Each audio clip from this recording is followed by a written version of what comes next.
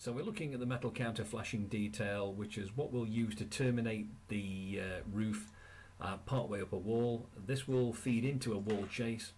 We're trimming the various areas up with the uh, tin snips. Um, all we need to do is make a cut in the top edge and this will allow us to bend the trim into position.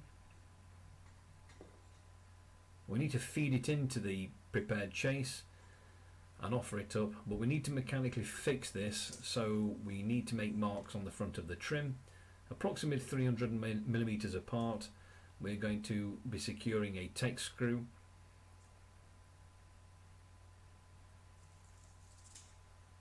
These screws are known to have a, uh, a specialist rubber seal on there so once they are secured in position they'll become watertight